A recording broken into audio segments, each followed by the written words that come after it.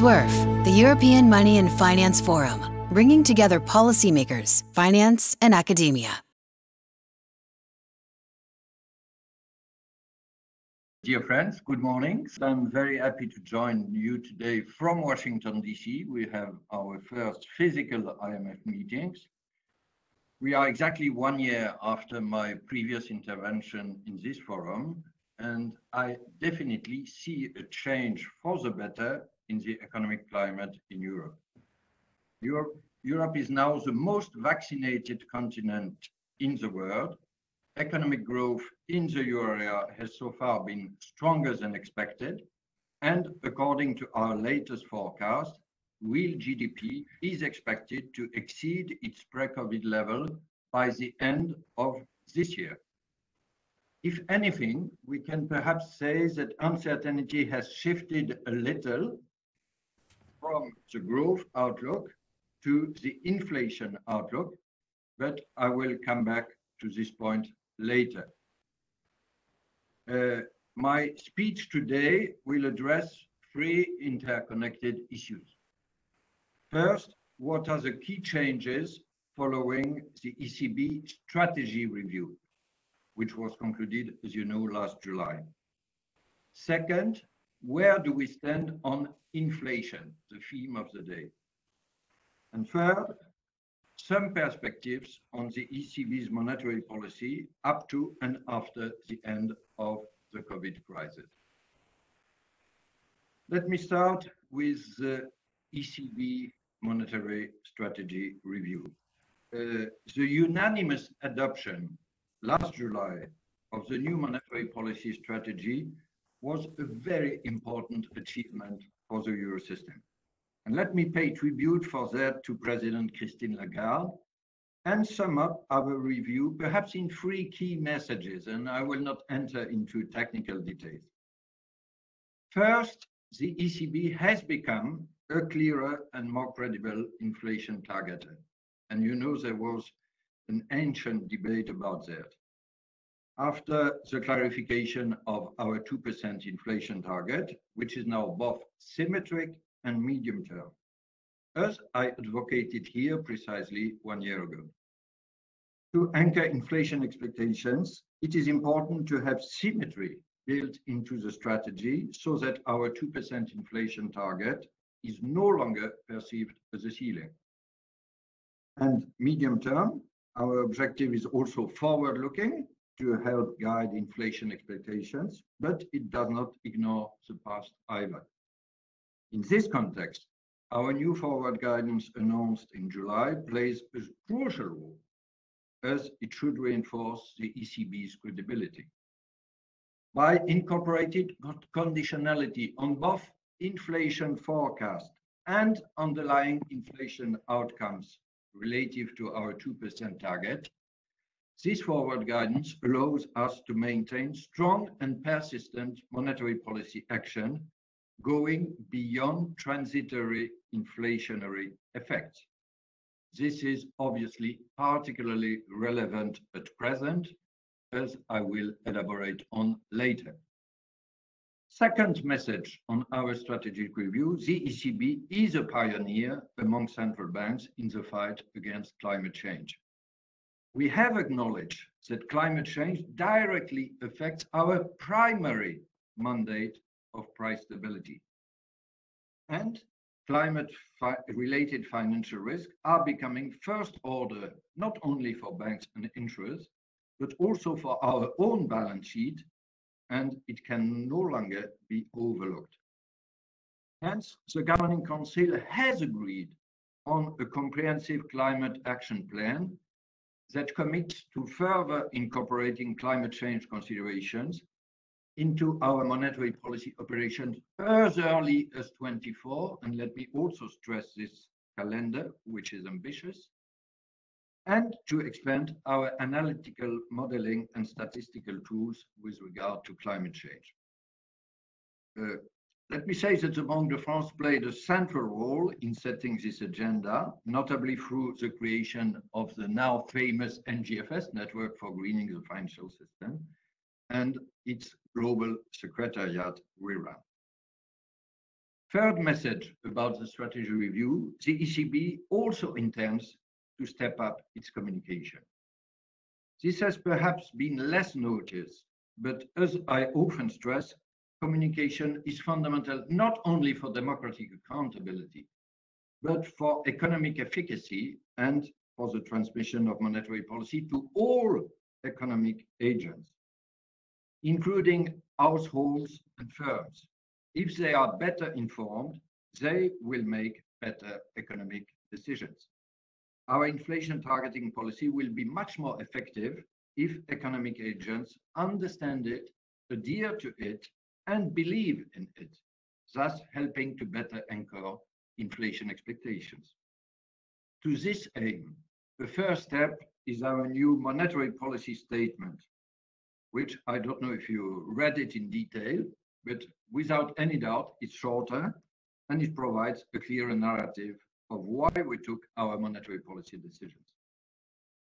But since effective speaking also means active listening, the Banque de France organized 17 listening events this year, both at national and regional levels. And we reached out more than 300,000 French citizens, which is a quite impressive figure. We discussed our mandates, the principles of monetary policy, and the effect of monetary policy very concretely on their daily lives. I have decided to make this an annual event in the future. Let me now come to my second point, the economic outlook and the future course of inflation. The robust euro area recovery has been helped by a successful combination of accommodative monetary and fiscal policies, both at national and EU levels. Inflation has also rebounded quite strongly with the figures you know, headline inflation at 3.4% in September, according to the flash estimate, and core inflation at 1.9%. This rebound obviously fuels lively public debate, but we should be vigilant without being feverish. Clearly, there is no such thing as stagflation. This rebound results mainly from several temporary factors, as already stressed by my ECB colleagues, Philip Lane and Isabel Schnabel, I am sure that Philip, who participates later in a panel, will come back to that later. Part of the rebound just offsets exceptionally low prices during last year COVID crisis. Compared to September 2019, consumption prices have only increased by 1.5% on an annual basis and prices excluding energy and food by only 1.0%. A second cause can be attributed to the strong rebound of energy prices, in particular oil and natural gas. The latter having also a direct impact on wholesale electricity prices. It is, of course, very hard to forecast prices, but future markets for natural gas are currently pricing a sharp decrease in the second quarter of 2022. The third cause is the global shift from the consumption of services to the consumption of goods. Supply chains are struggling to serve this demand.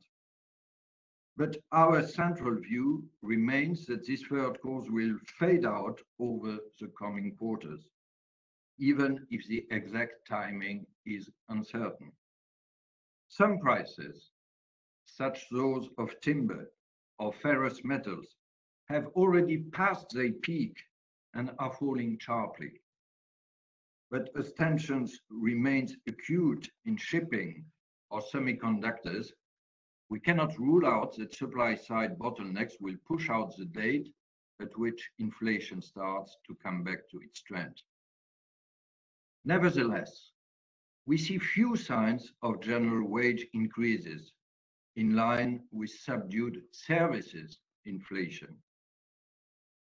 Moderate wage increase in the euro area in some sectors of the economy could be warranted to make jobs more attractive and reduce labor shortages. But there are few signs, let me repeat it, of a wage price spiral at the current juncture. Indicators of long-term inflation expectations of professionals, both market-based and survey-based, have picked up but remain below our 2% target.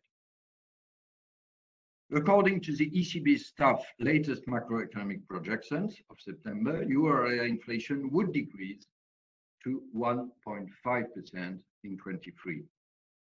Some may question this latter figure and call it too conservative, but let me take a very practical approach here. There might be some upside risks by a few decimal points on our 2023 forecast. But but what matters for monetary policy is the distance of realized inflation, not from our forecast, but from our target of 2%. And from this point of view, it is clear that the risk remains that we fall short of our inflation target in 2023 rather than exceed it. This calls continued accommodative monetary policy. But we are vigilant, as I said. We are carefully monitoring inflation developments. If ever, if ever inflationary pressures should turn out to be long-lasting, we would have the means and the willingness to anchor inflation at 2% in the medium term. This brings me to the third and last part of my speech about the use of our instruments consistent with the new strategy, my first part, and the inflation outlook, my previous part. Let me remind that some of our instruments were designed to be temporary from the start and to respond to specific risks associated with the pandemic, such as our famous PEPP. The Governing Council will probably decide on the future of its monetary policy instruments in December. So we have significant time left to monitor economic and financial data. And one shouldn't give too much credit to rumors and speculations floating at present, including on an allegedly earlier calendar of ECB rate hikes. However, I would like today to dispel some misperceptions, possible misperceptions, about how instruments might evolve and to mention some of the lessons I tend to draw from our successful crisis management. Let me start by recalling that the transition out of the PEPP itself is different from our other instruments because it is conditioned on the end of the coronavirus crisis rather than on the inflation outlook, which guides our other instruments. If the Governing Council judges, I quote, that the coronavirus crisis phase is over, unquote, then net purchases under PEPP will end by March 2022. As things stand today, this is likely to happen. It is important, therefore, to stress that exiting from PEPP would not signal the end of our very accommodative monetary policy.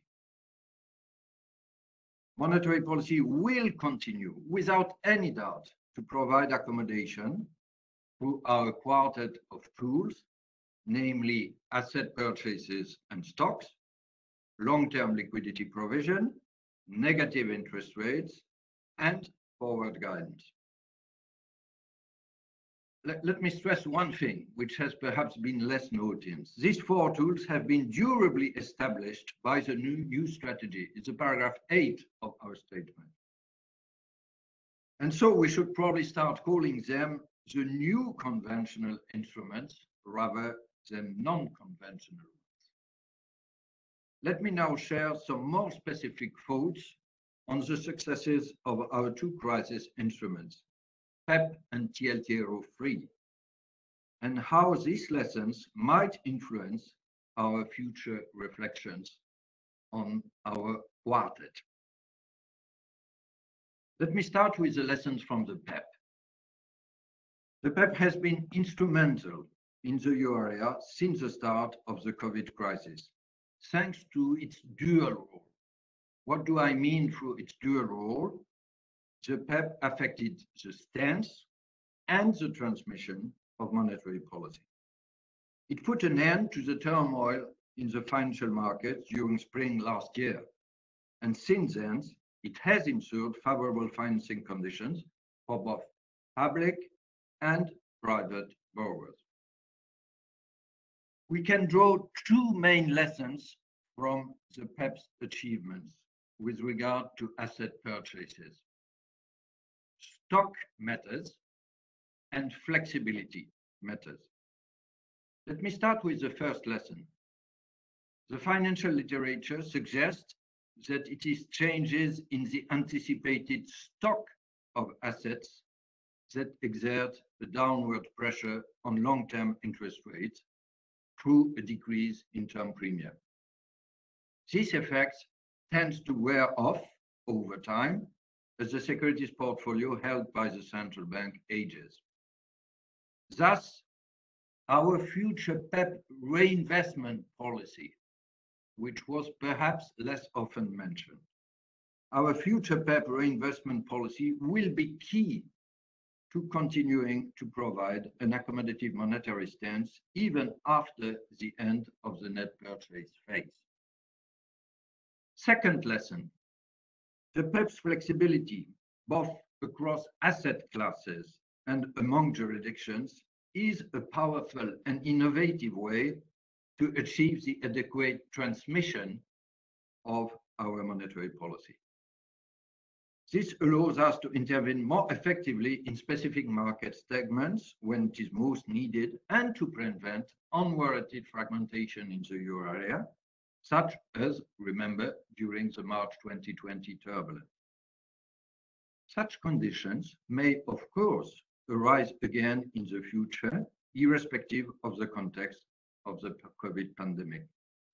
Therefore, according to me, it could be worth examining if and how at least some elements of this flexibility should be kept in our virtual toolbox. The mere existence, the theoretical possibility of their use would mean that we would probably not have to actually use them. This is what I call the virtual toolbox. An additional key feature of the PEPP was to announce a total envelope of potential purchases, also incorporating a flexibility regarding the timing of purchases within this total envelope. By contrast, the APP is currently operating with an open-ended flow of 20 billion euro of additional net purchases per month. The APP might benefit still more than from increased fixed volumes from adding some forms of such flexibility of purchases over time. Last but not least, in July, the Governing Council updated its forward guidance on interest rates to bring it into line with the new definition of price stability. We agreed to reflect later, that is to say December, on whether to adjust our forward guidance on the APP. Let me come and conclude with the lessons of our other crisis instruments, TLTRO3, and link it to the two-tier system. Uh, the third round of targeted long-term refinancing operations, TLTRO3, has proved to be a powerful tool during the COVID crisis to avoid a credit crunch to the private sector. As the euro area financial system is mainly bank-based, our future actions must continue to support bank lending to businesses, including SMEs and households, as the recovery evolves. I am therefore in favor of keeping these funding instruments as a liquidity backstop in some form in the future, also to avoid possible cliff effects related to future repayments. However, I think that a careful recalibration of its pricing is required. Now that the recovery is well underway, the generous pricing of TLTRO3 lending rates can be up to 50 basis points below the average deposit facility rate since April 2020. This generous pricing is no longer justified. The present calibration of TLTRO pricing clearly provides riskless arbitrage opportunities for banks. Having said that, I am fully aware of the fact that the negative interest rates on excess liquidity holdings may affect the profitability of bank intermediation in the long run, since they are primarily funded by their clients' deposits, and affecting profitability of banks, affecting consequently the right transmission of our monetary policy. I hence strongly advocated the introduction of the two-tier system in September 2019, which aims to exempt part of credit institutions' excess liquidity holdings from the cost of the negative deposit facility rate. This has been, without any doubt, a success in limiting the negative side effects on bank intermediation of low-for-long interest rates, thereby preserving the adequate transmission of monetary policy. As you know, the exemption volume is determined as a multiplier of banks' minimum reserve requirements. This multiplier is currently set at six. Let us look for one minute more precisely at figures. When the two-tier system was introduced in October 2019, total excess liquidity was just above 1.7 trillion euros. As a result of the ECB response to the COVID pandemic, total excess liquidity has now jumped to 4.4 trillion euros, an amount well above the level of reserve necessary to steer market rates towards the deposit facility rate. This level of reserve, what we call the FREL, floor required excess liquidity, is currently estimated at about 1 trillion euros. Consequently, I would support a more rule-based approach to set the level of the multiplier. It could be a function of the change in excess liquidity net of both necessary and borrowed reserve, necessary being FREL, borrowed being TLTROs. Much more than subsidizing liquidity provision beyond exceptional circumstances like in the last two years, a well-calibrated tiering system belongs to the normal tools of monetary policy, as shown by other jurisdictions. Let me conclude and sum up. We sometimes read that central banks, including the ECB, are presently squeezed by two dilemmas. The first one being on the objectives, as central banks would have either to accept excessive inflation or to threaten the recovery. And the second dilemma would be on the instruments, as they would take the risk of cliff edge effects by exiting the COVID crisis instrument. These two views are largely wrong, according to me, and I try to explain why in the case of the ECB. First, on our objectives. Based on the successful conclusion of our strategic review and forward guidance, we can be patient in navigating through a significant but temporary surge of inflation.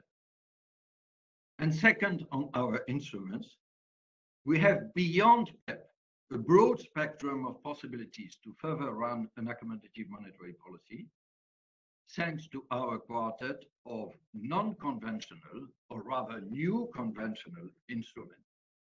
Thank you for your attention.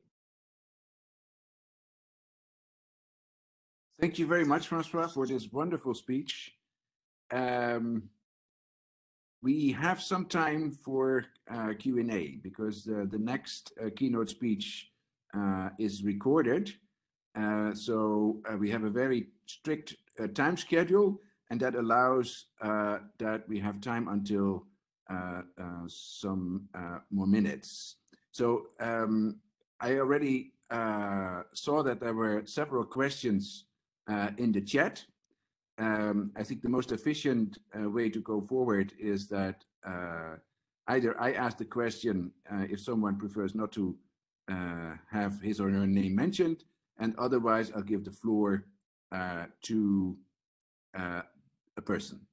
Um, first of all, one of the questions that was raised was the following. In your presentation, which by the way was very clear, which I appreciated very much, um, you said that um, probably in December, uh, the governing council will decide uh, about uh, the future of uh, PEPP.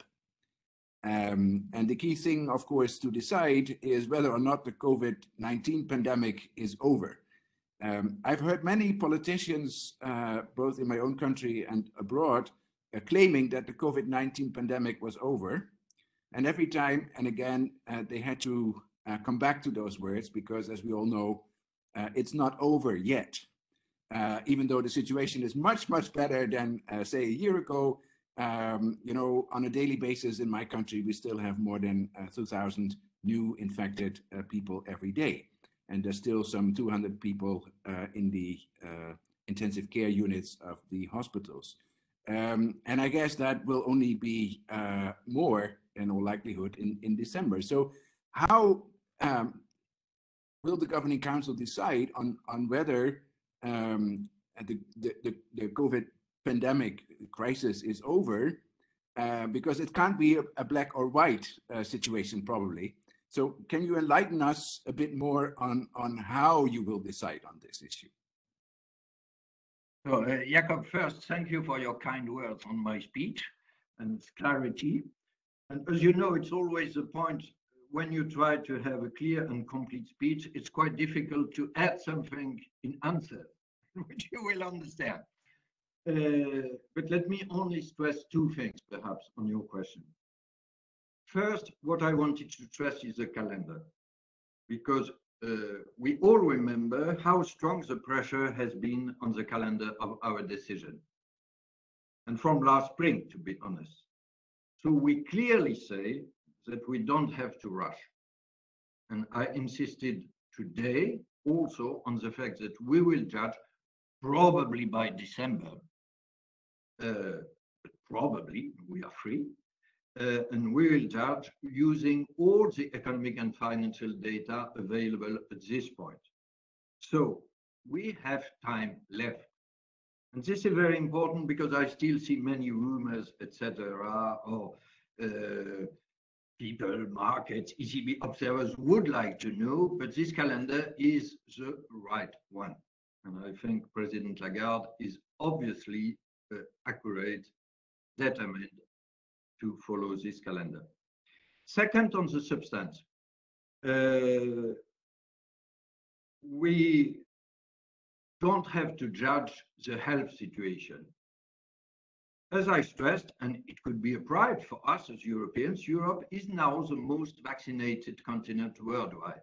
And remember the situation at the start of this year, February or March 21, there was so much criticism against the European Commission, saying, you are late, you are behind the curve, look at UK, look at the US, look elsewhere. We are now the most vaccinated continent worldwide, and this has deep economic and also uh, social consequences Uh, I happen to be in the US today. Really, the footprint, even psychologically, of Delta is much stronger in other jurisdictions than in the euro because we are more vaccinated. Having said that, what we have to judge, we governing council, is the economic, financial, and monetary side of the story. Where are we on the economic and financial consequences of uh, COVID? And is the economic crisis phase over? Probably this decision on the economic side is a bit simpler than the sanitary one, also due to the fact that we learned collectively how to live with the virus, how to work and produce while protecting ourselves. So uh, each new wave, and possibly there could be new waves, has less and less economic consequences. But having said that, let us wait, wait, wait and see in December. We don't have to, to rush. Again, we will make better decisions if they are more informed by the latest economic data. Thank you very much. Um, Elga Bartsch has a question to you. Please, Elga.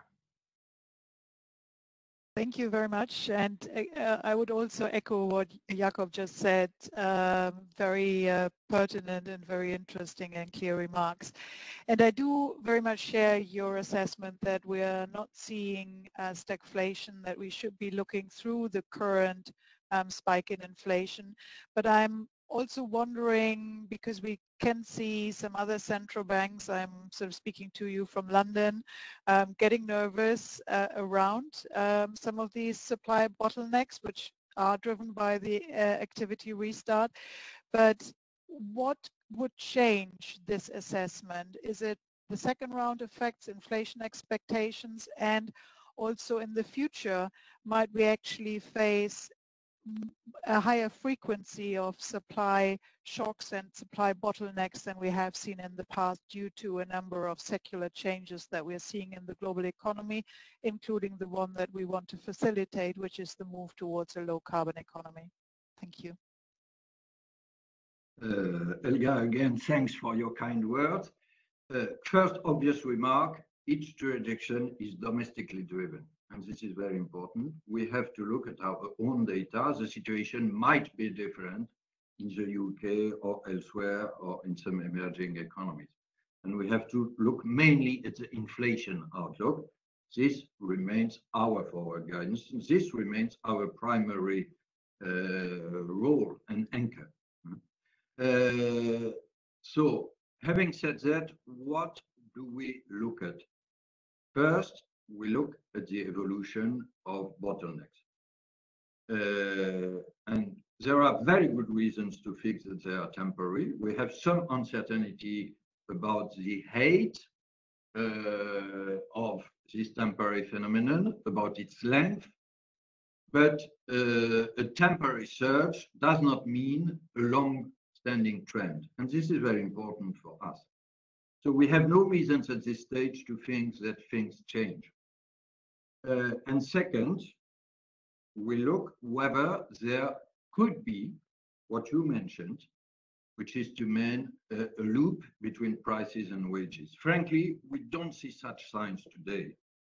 And the best proof for that in the euro area is, is that if you look at services inflation, it remains more or less what it used to be. We had this decrease last year due to the COVID recession. We have an increase this year, but the long trend, there are no bottlenecks, uh, and, and, the long trend is very stable and, and, and in continuity. So I said that we should be vigilant without being feverish, and this is exactly what I mean. Uh, I, I, could say it with uh, also some more physiological images. We should have open eyes, obviously, but we should keep cool hair. And I think this is this is what we are doing.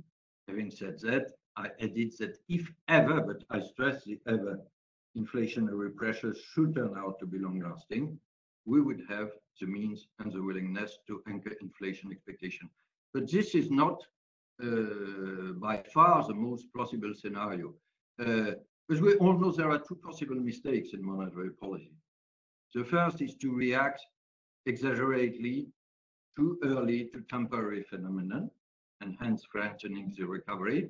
And the second risk would be to not to see a long-lasting phenomenon. At present, without any doubt, the first risk is more significant than the second one. Thank you very much.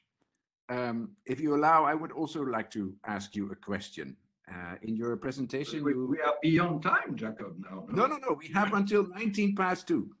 so it's a, it, let us agree it's the last one, please. okay, let's agree on that.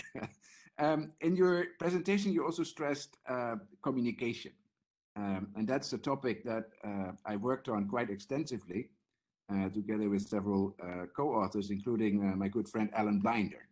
And Alan Blinder is uh, very uh, skeptic about, uh, you know, the possibilities uh, to reach the general audience. Um, there's a lot of research suggesting that financial markets respond to central bank communication and generally, uh, indeed, in the intended direction. Um, and that, of course, is because financial markets listen. They have an interest to listen to the uh, central banks. Um, and Alan Blinder has argued that uh, the situation for the general public is very different in this respect. They don't have an interest um, to listen. Uh, and in fact, this is also confirmed by my own research. Uh, when we surveyed uh, the Dutch uh, public, uh, we asked them, okay, how much are you interested in what the ECB is doing? Um, and we were very disappointed by the outcome because many, many respondents indicated, you know, they don't have uh, a clear interest. They don't listen. Um, and you can speak out, you can speak out clearly, you can speak out simply, uh, you can use different means. But if people are not interested, um, they will not listen. So how will the ECB tackle this, this issue? Um, because I think it's a fundamental issue, especially if you, you know, refer to uh, central bank accountability, um, then I think it's important to uh, involve the general public um, but they don't seem to be interested. Uh, I think as you do that, it's a, a, very important question. But let me say why I am slightly more optimistic and speak from the Banque de France perspective. By the way, in the Eurosystem, it's a topic where the NCBs have a very important role to play, due also to language question. Uh, I agree with you on one point, and then I will be more optimistic when you tell to people the word monetary policy, you probably lose your audience because they are not excited in monetary policy. They don't know what it is. Uh, can I tell you a small family story? I happen to have five children who are normally educated. And five years ago, I tried to explain to them my job. So I prepared at family dinner a short statement, simpler than this morning, uh, about 10 to 15 minutes about monetary policy. And then my eldest daughter, who happens to be a doctor, a practitioner, uh, told me, and it, it, was very kind from her, it was dad, it was very interesting, but next time do it more simple. So it was a good lesson for me. So we tried. Uh, and here, this is why I'm more optimistic. We organized 17 events we said in French, La Banque de France à votre écoute. Banque de France listens to you. It was during COVID. So we had no physical me uh, meeting. It was between February and June of this year. So very adverse conditions. And believe me, Jakob, we were really surprised by the success of this event. I mentioned 300,000 French citizens participating, listening, asking questions. And what they told us was for us a very important message. They told us, we are interested. So please tell us, but tell us differently. Tell us from our daily life what it means for us. If you speak technically of monetary policy, monetary policy instruments, we are not interested. If you speak about inflation, about the possible evolution of interest rates, for example, for mortgages, about financial stability, they don't use this word, but the evolution of prices, bubbles, inequalities. If you speak of what you can do on climate change, then we are extremely interested. So it's up to you, central banks, to start from our daily lives concretely and to explain what you can change and how things could evolve and what will be your rule of conduct. But if we do that, believe me, we will be listened.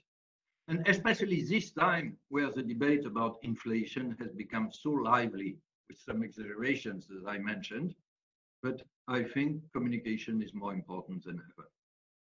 Thank you very much. Um, not only for your very uh, open and very transparent uh, uh, response to our questions, but also for your wonderful speech. Um, it was a pleasure to listen uh, to you. Thank you very much for being with us uh, today.